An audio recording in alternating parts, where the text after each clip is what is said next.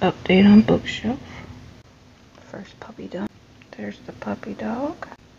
This is going to be one pretty painting, I think, y'all. What do you think?